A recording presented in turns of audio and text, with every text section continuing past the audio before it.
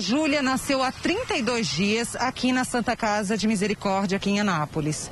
Quando ela nasceu, a mãe descobriu que ela tinha cardiopatia congênita e que precisava de uma cirurgia. Mas há 32 dias a menina não saiu da Santa Casa e ainda aguarda por uma vaga em algum hospital em Goiânia, né, Marlene? Isso. São 32 dias 32 de sofrimento. Dias. Isso. Desde que ela nasceu que você descobriu essa doença? Foi desde quando ela nasceu, com três dias de nascido.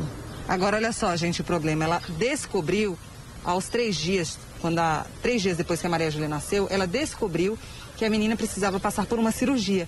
Mas até descobrir já foi um outro problema também, né, Marlene? Você precisou pagar por um exame? Precisei pagar pelo exame porque eles ficaram me enrolando aqui na Santa Casa. E aí começou um outro problema, né?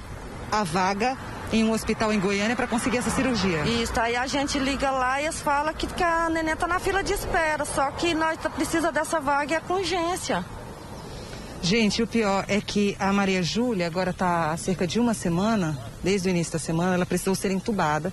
Inclusive, ela está com anemia.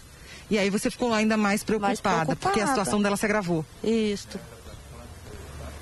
Porque a, ela foi entubada na segunda-feira.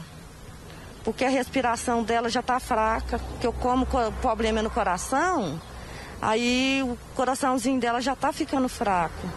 Aí teve que entubar ela, que ela não estava conseguindo respirar sozinha.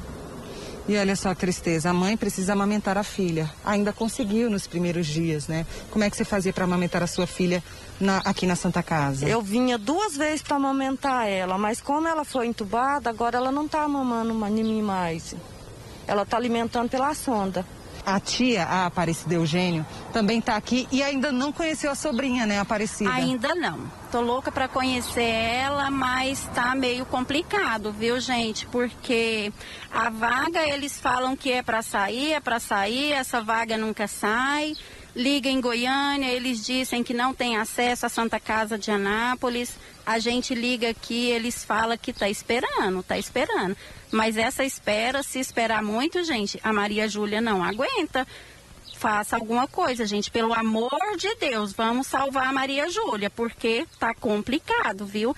Eu queria dizer, se fosse um filho de vocês, o que vocês fariam? Será que estariam na fila de espera até agora? Deixando a Maria Júlia na, na situação que ela tá, no estado que ela tá, gente? A Maria Júlia aparentemente era saudável aos poucos ela foi se debilitando até chegar a ser entubada. Então eu espero que surja uma vaga o mais rápido possível, pelo amor de Deus. Gente, eu peço, pelo amor de Deus, aqui quem está falando é uma mãe aflita. Me ajuda a salvar a vida da minha filha, porque minha filha, ela depende dessa cirurgia. Pelo amor de Deus, vocês que é pai, vocês que é mãe. Vocês compreendem como que é o sofrimento de uma mãe para salvar a vida de um filho.